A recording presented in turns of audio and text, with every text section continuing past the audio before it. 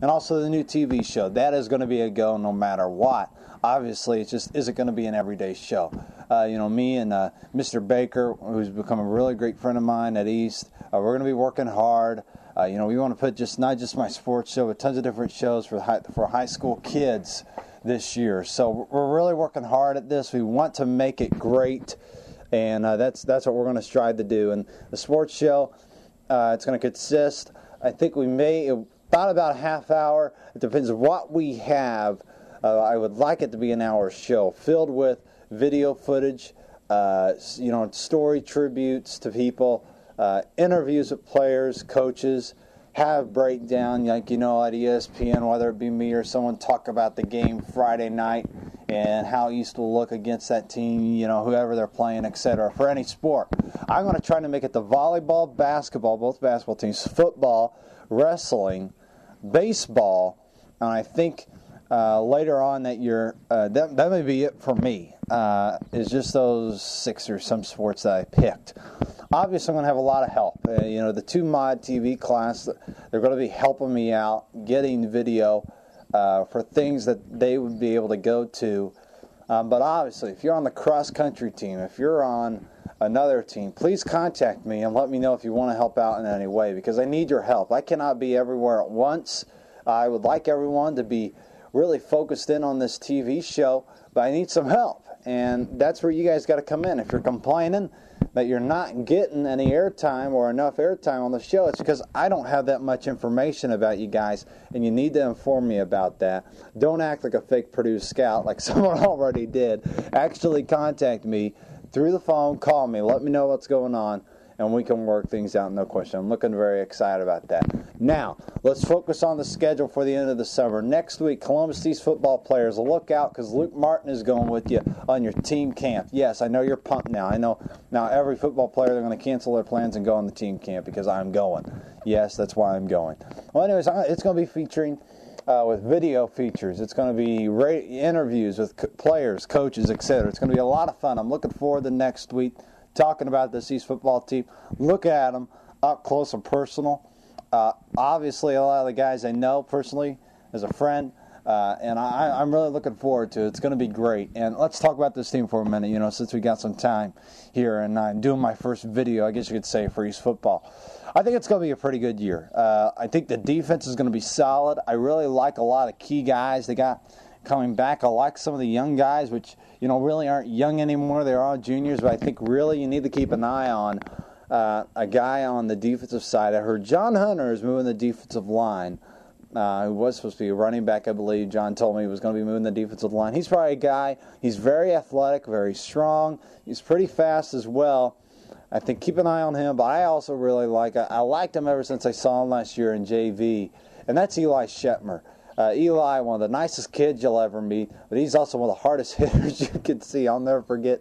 He was actually on uh, my highlight reel entering the show uh, way back in uh, when I only did like a show every two weeks or something with that monstrous hit, and I just loved his celebration. That was pretty cool. But, anyways, I think Eli Shetmer is a guy that you really need to keep an eye on. I think he's someone that is very under the radar. Not a lot of people are looking at, but he is someone that has a lot of talent and can make a big impact this year on this on this team on the defensive side of the football. On the offensive side, obviously, everyone pointing the Gunner Kiel. And why not? Gunner's got a lot of talent. I think Gunner has the potential to be better than Dusty and better than Drew, his two older brothers. But you got to remember, Dusty and Drew had significant supporting cast. Drew had Stevie Brown.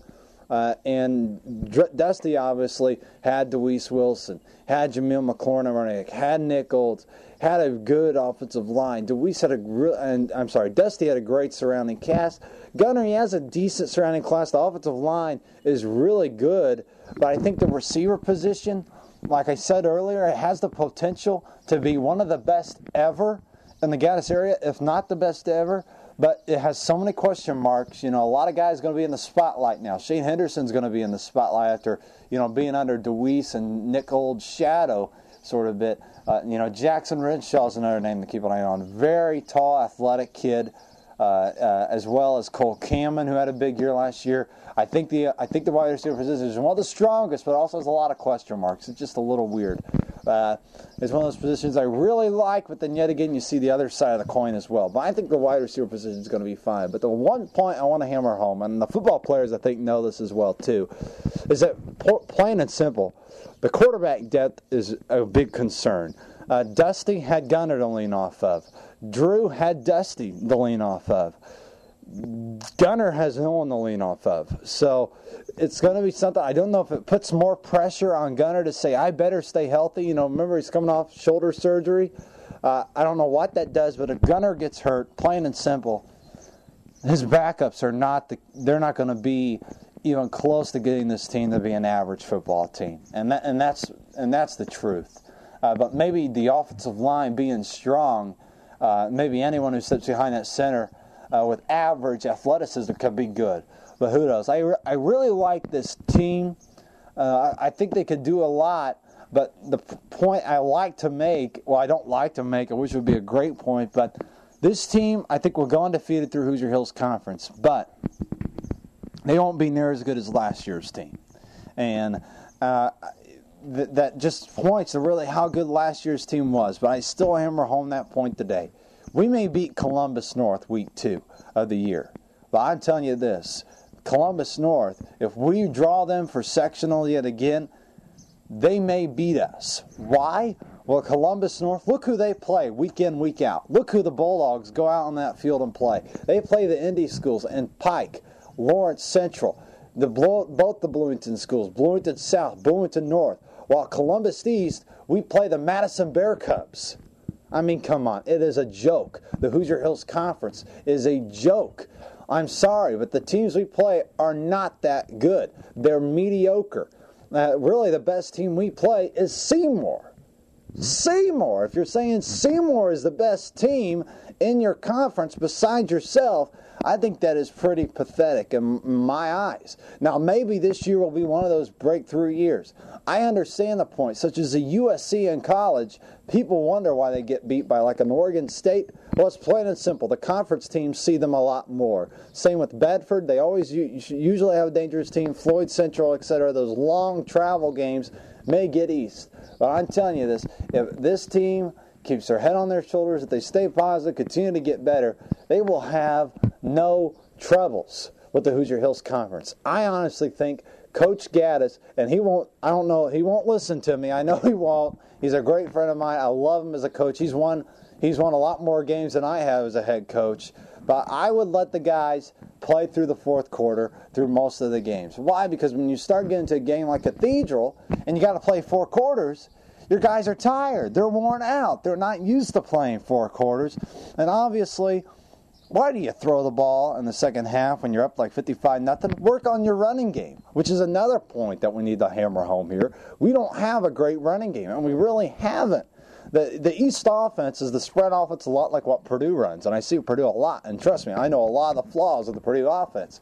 When you get into that toes, when you get into those low scoring games and you got to run the football, you're screwed because you can't do it. And that's something that East has really got to do. They got to find a running game because every championship football team every championship football team, you look at it, they had a balanced attack. They could run the football, they could throw the football. Look at the Pittsburgh Steelers. They could run it a lot, and yet Ben Roethlisberger, when he had to throw it, he could throw it. That's why they run the Super Bowl. I mean, they have great championship teams have both balanced attacks, and that is something that East, especially now, will be going to 5A. If they want to be a championship football team, they got to have a balanced attack. They got to have it.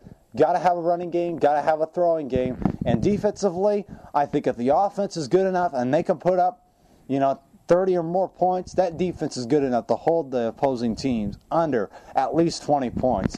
I believe so. We'll see what happens. I'm anxious to go to team camp, see what happens on player interviews, coaches interviews throughout the week. Stay tuned to the webpage of all my gear ready to go. It's going to be a lot of fun next week at Hanover College. Once again, for the first time this year about Columbus East football, I'm stoked about it. I'm ready for Columbus East football to begin. I'm Luke Martin for the Luke Martin Show.